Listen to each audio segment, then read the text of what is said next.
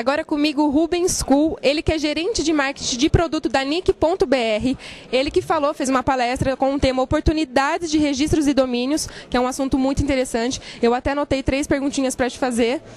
E a primeira é: o que é preciso para registrar um endereço na internet? Uh, o registro de domínios brasileiro é restrito às pessoas físicas e organizações brasileiras.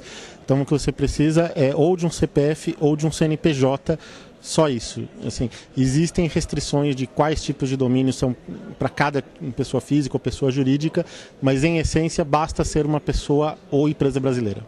Então é bem simples, né? É, e isso tem um custo muito alto? Quanto custa? Então, esse custo hoje é de 30 reais por ano, mas a gente sabe que os provedores às vezes têm condições comerciais ainda mais interessantes. Então o preço estipulado é esse de, de 30 reais por ano, um custo baixo, mas ele pode ser tornado ainda mais baixo pela contratação de outros serviços junto aos provedores que prestam o serviço. Legal, eu tenho minha última aqui.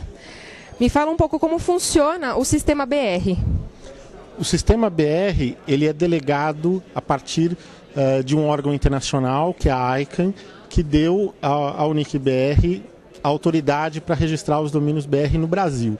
Então o sistema BR ele aceita os registros para publicação, uh, em que a gente atende os registros em ordem de chegada, quem chegar primeiro no nome pegou, e a gente mantém publicados esses nomes na internet 24 horas por dia, 7 dias por semana. Então, o nosso principal pa pa papel é publicar essa informação. O nome em si é uma propriedade de quem registra, é uma titularidade de quem registra o domínio.